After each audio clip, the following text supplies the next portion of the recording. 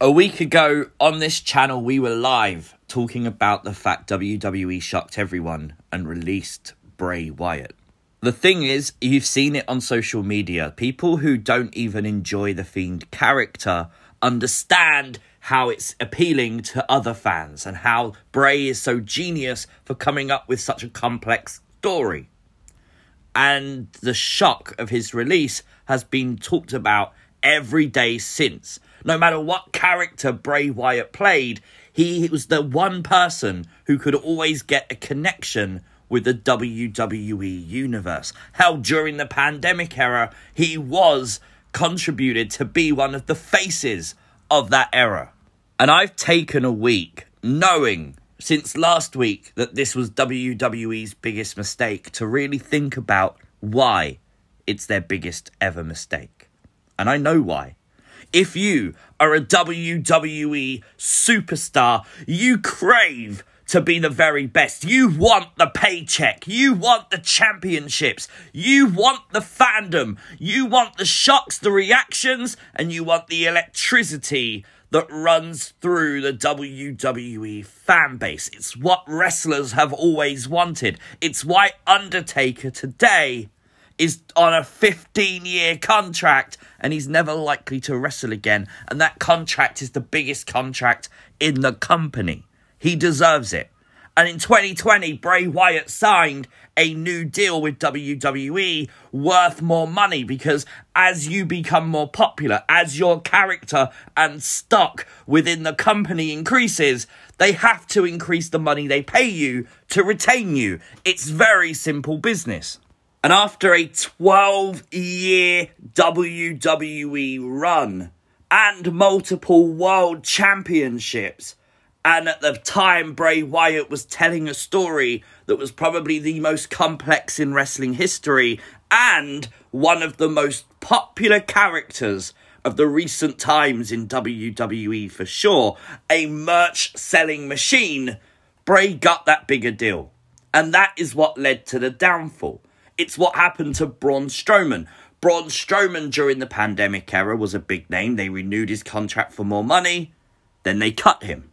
And the outpouring of support from other WWE superstars has been telling. Bray Wyatt was a locker room leader and friend to many of the people backstage. But if you are backstage at WWE, if you are an up and comer superstar like Karrion Kross, do you want a breakout moment? What about Liv Morgan? Liv Morgan isn't on a massive WWE deal. That's what's rumoured anyway. But if she had that breakout moment and they paid her more, is that horrible? Matt Riddle right now seems like he is on a rocket ship on Raw. One day he looks like he'll be a world champion. Does he want that?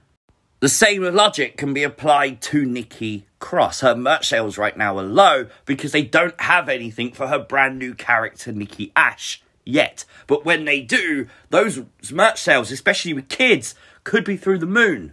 She could be the next fiend in the sense of merch sales.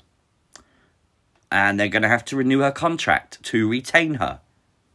And we see how that worked for Bray Wyatt. That higher contract actually was probably what led to his downfall when they came to cut costs and what they used as the excuse budget cuts. Is there more to Bray being released? Yes, I think so.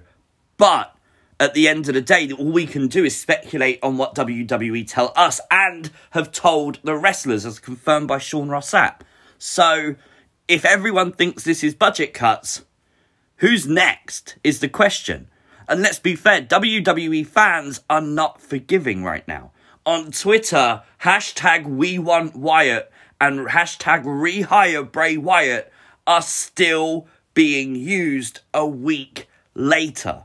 It's unlike anything before. And right now, AEW are set to change wrestling. They are about to give fans something they've wanted for a long time. And releasing someone like Bray Wyatt at this time, who's got a 90 day no compete, but if he shows up again, well, it's a total own goal from Vince McMahon, like it was in the Attitude Era. When the NWO showed up on WCW, the popularity of WCW, the coolness, the edginess, increased.